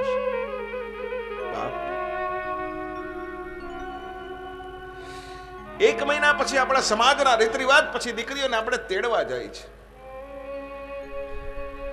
એક મહિના પછી. દીકરીને ખબર હતી, પરણીને ગયેલી દીકરીને ખબર હતી કે એક મહિના પછી મને મારો બાપ કે મારો ભાઈ તેડવા આવશે. એટલે એ દીકરીને એમ હતું કે બાપને ઘરે જવા સમય ન બગડે. એટલે લગ્નને બીજે દિવસે દીકરીએ એ પિયર જવા માટે પોતાના વસ્ત્રો એનું એક પોટલું બાંધીને તૈયાર રાખ્યું કે જેવો મારો બાપ મને તેડવા આવે ને એટલે આ પોટલું લઈ અને હું દોડીશ. પણ બાપ,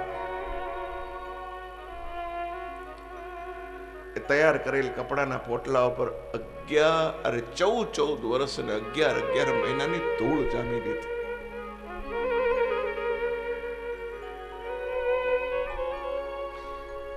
પંદર વર્ષ સુધી એ દીકરીને બાપને ઘરે જવાનો પ્રસંગ તો ઊભો થાય, પણ સાસરા વાળા હા પાડે તો ને.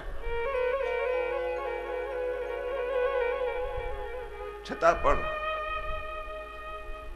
કોઈ પ્રકારની ફરિયાદ ન કરે અને પિતાના જીવનમાં દુઃખ ઊભું ન થાય, એવું જીવન જીવે એનું નામ દીકરી. પંદર વર્ષના વાણા વાઈ ગયા છે. દીકરી મને રાપરમાં કથા કહેવાનો કેટલો આનંદ છે, હું એ આપને બતાવી રહ્યો છું. આ પ્રસંગે પહેલી કથા છે કથની, ધરતી ઉપર.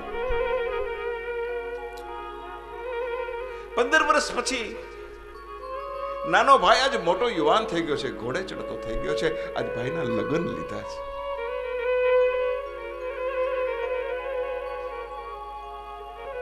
બાપ, પોતાની દીકરીને તેડવા માટે જાય છે.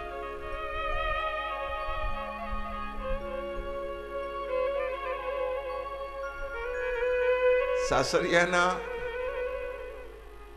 પાદરમાં અને ડેલીએ બાપે પગ મૂક્યો. દીકરીએ જોયું કે મારો બાપ આવે છે, પણ દીકરીને સપનું લાગ્યું કે મારો બાપ હોઈ જ ન શકે.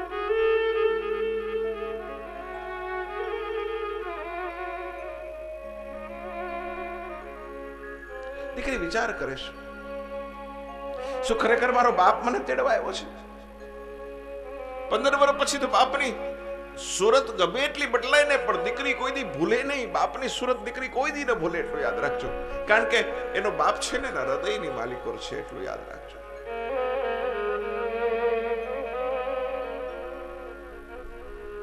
દીકરીના સાસરિયાઓને બાપ મળે છે. બધાને હાથ જોડે છે. શું કામ આવ્યા છો બે ભાઈ? આ દુનિયાના તમામ લોકોને હું એક પ્રાર્થના કરું છું કે દીકરીનો બાપ જ્યારે તમારા ઘરે આવે ને, ત્યારે મહેરબાની કરીને તમે એને સન્માન ના આપી શકો તો કાંઈ નહીં, પણ મહેરબાની કરીને એનું અપમાન ન કરશો. એટલી મારી તમને બધાને હાથ જોડી અને પ્રાર્થના છે, એટલું યાદ રાખજો.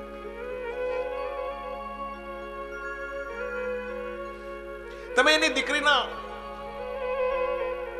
ગુણો ના ગાઈ શકો તો કઈ નહીં, પણ એની દીકરીના અવગુણી બાપની પાસે ન ગાશો કે તમારી દીકરી આવી છે, તમારી દીકરી આવી છે, તમારી દીકરી આવી છે. જે દીકરીને પરણીને તમે લાવ્યા છો, એ દીકરીની માલિકો તમને કોઈ સદગુણ દેખાતો જ નથી, બધા એના અવગુણો જ દેખાય છે. એ ગરીબડો બાપ પહેલેથી તો દુખી છે જેવા બાપને મહેરબાની કરી, તમારે ઘરે એક, બે કે ત્રણ કલાક રહેવા માટે આવ્યો હોય, તો એવા બાપને કરવા શબ્દ સંભળાવી અને દુઃખી ન કરશો એટલી મારી મારી વ્યાસપીઠ તરફથી સમગ્ર દુનિયાના વિશ્વના લોકોને મારી હાથ જોડીને પ્રાર્થના છે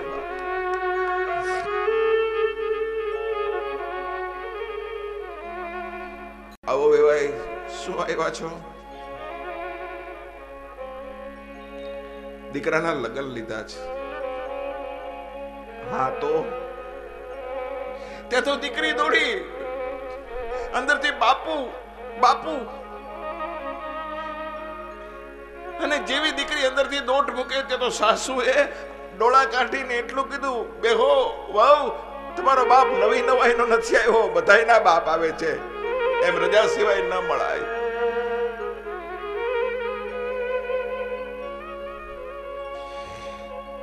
દીકરીના પગની માલિકો જંજીર બેડી લાગી ગઈ. પિતાને મળવા દોડતી સરિતા વચ્ચે સ્થિર થઈ ગઈ.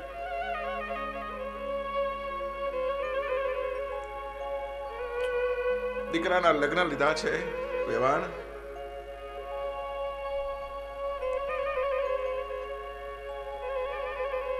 દીકરીને તેડવાને માટે આવ્યો છું.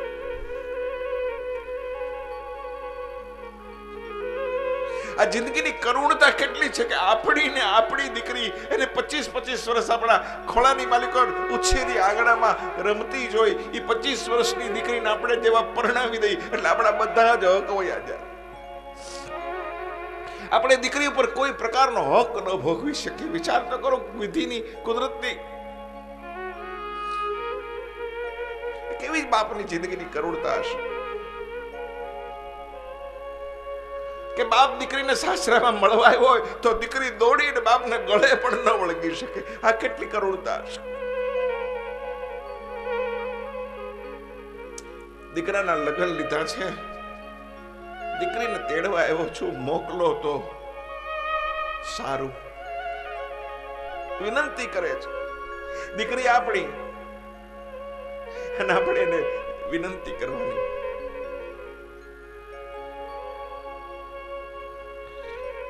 ખૂબ વિનંતી કરી.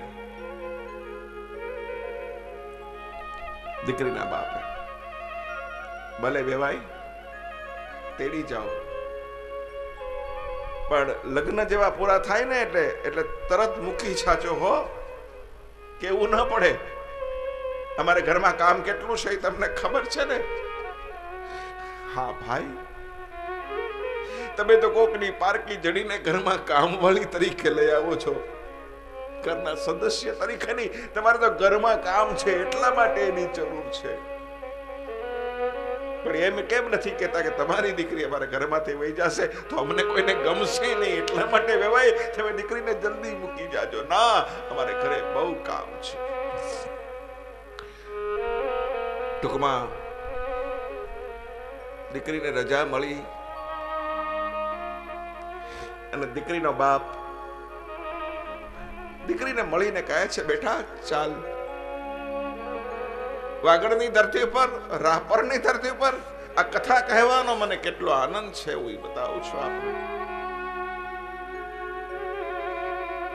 દીકરીને નવાઈ લાગે છે, બાપુ બાપુ બાપુ, રજા આપી. બધાએ હા પાડી.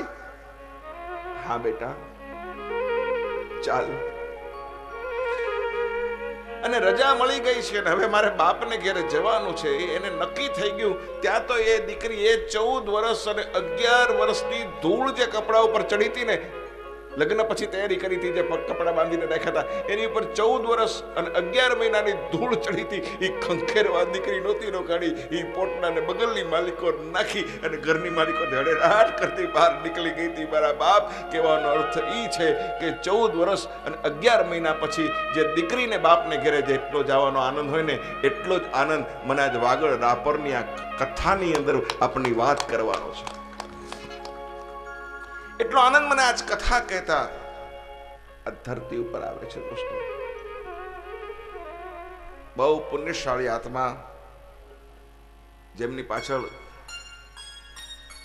કલ્યાણકારી કુટુંબ કથા નું અહીંયા આયોજન થયું છે. તો ઘણાના પ્રશ્નો એવા છે એક કથા શા માટે? કથા વધતા જતા વૃદ્ધાશ્રમો માટે છે દોસ્તો. ચિંતાનો વિષય છે. દિવસે દિવસે વૃદ્ધાશ્રમો વધી રહ્યા છે, ભયંકર રીતે વધી રહ્યા છે, ભયંકર વધી રહ્યા છે. મારી પાસે આંકડો આવ્યો હતો ત્યારે બસો ને એસી વૃદ્ધાશ્રમો ગુજરાતની અંદર હતા. આ વૃદ્ધાશ્રમોને બંધ કરવા હોય તો વૃદ્ધાશ્રમો બંધ થઈ શકે એમ છે, એટલું યાદ રાખજો. આશીર્વાદ ચાહું છું, મેં એક સૂચન કર્યું છે.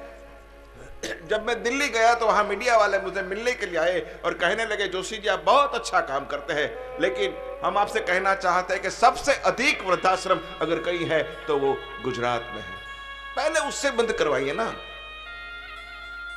સાહેબ હું એને કશો જવાબ ના આપી શકો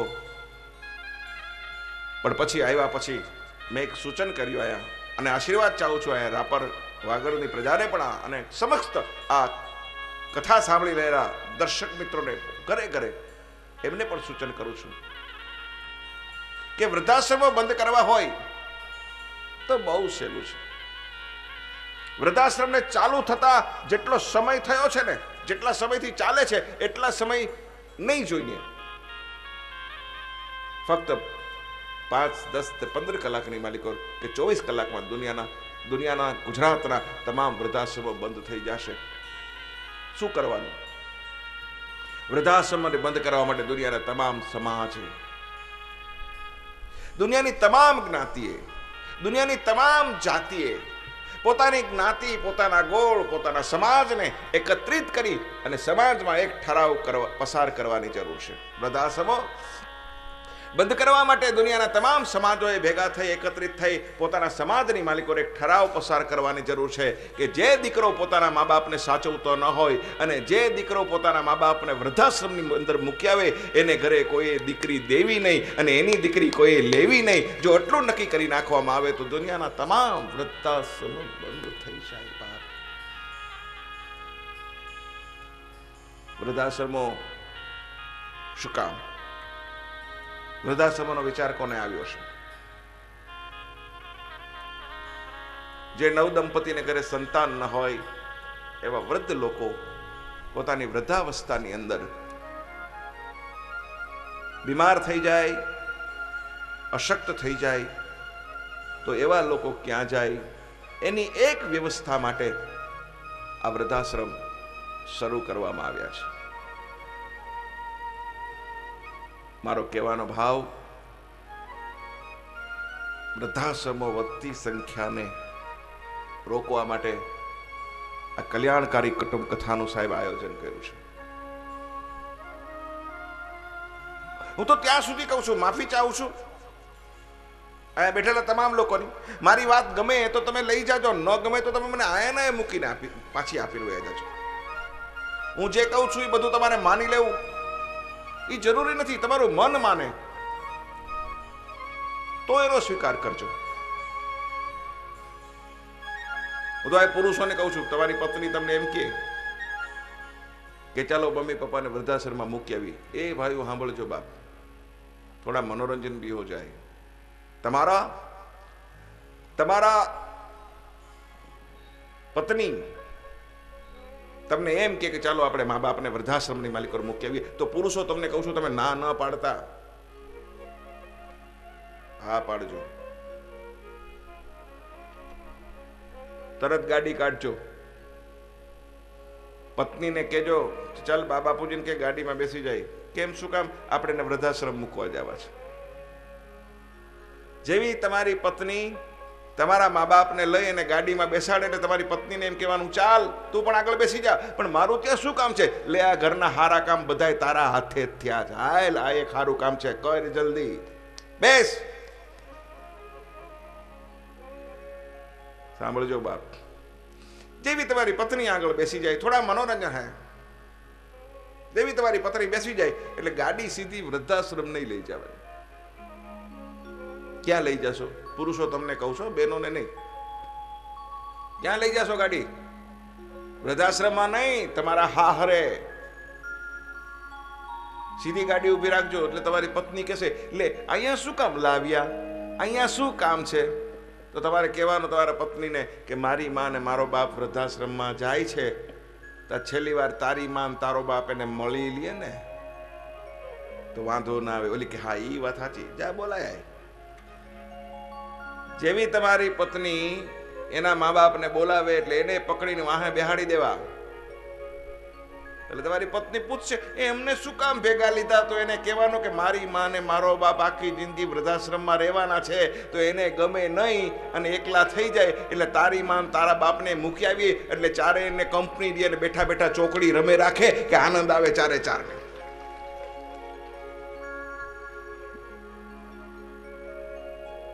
દુનિયાની હર સ્ત્રી જો પોતાના સાસુ અને સસરાની માલિકો માતા પિતાનું દર્શન કરે, તો આ દેશની માલિકો વૃદ્ધાશ્રમો રહે જ નહીં એટલું યાદ રાખજો દોસ્તો. એના માટે જરૂર છે, ઘરની માલિકો સંસ્કારની જરૂર છે. જેના ઘરમાં માતાનું સ્થાન, સંસ્કાર ક્યાં આવે છે? જ્યાં માં જ્યાં માં હોય ત્યાં સંસ્કાર આવે છે. જે ઘરમાં માતાનું સ્થાન તે ઘર આવે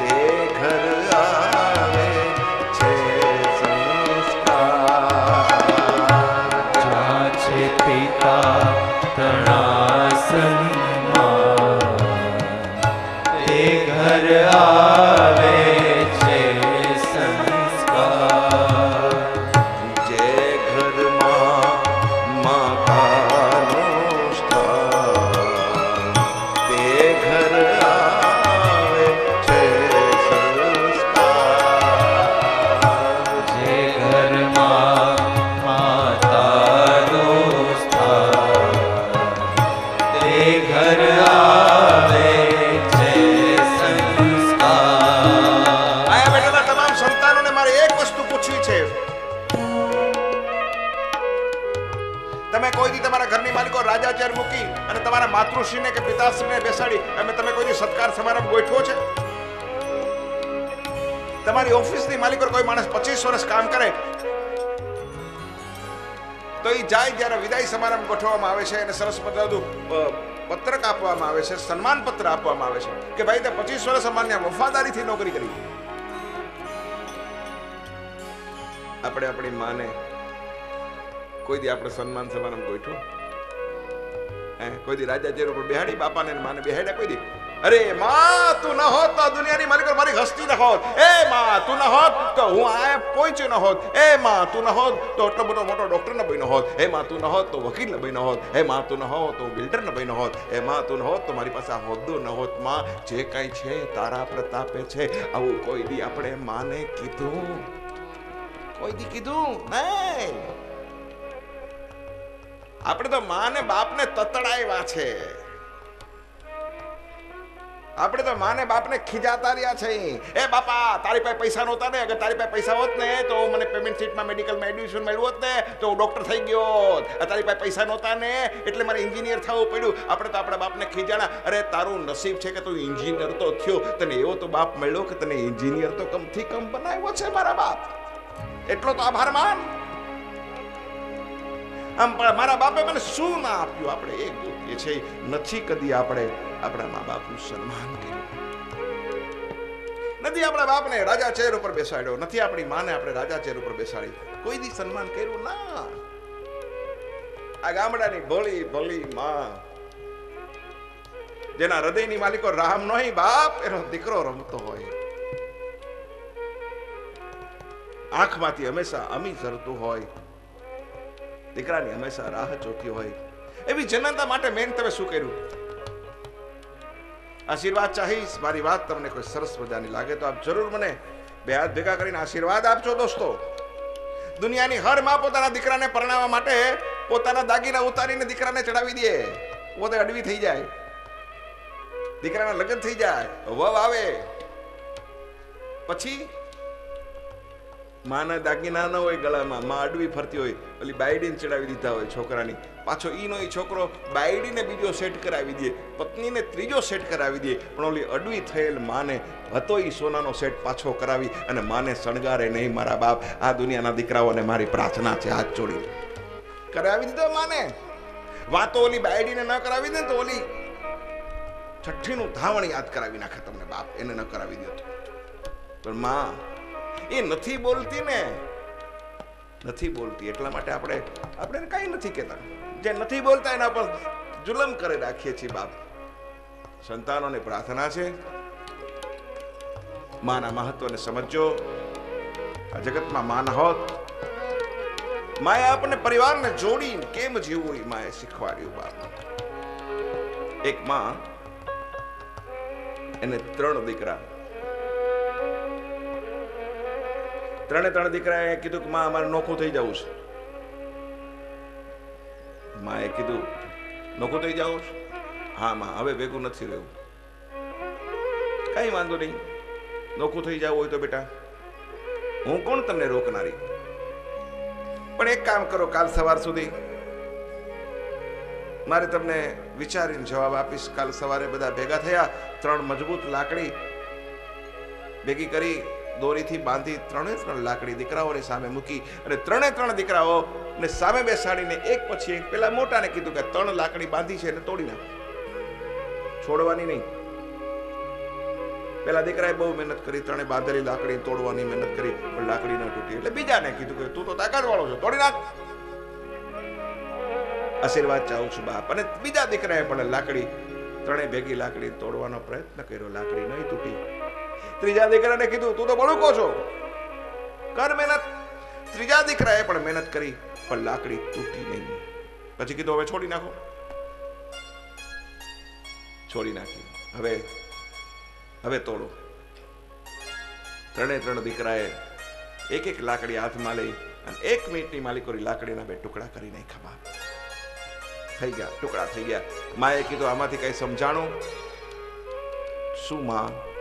કે બેટા, ત્રણે ત્રણ ભેગા રહેશો ને તો દુનિયાની કોઈ વ્યક્તિ તમને તોડી નહીં શકે.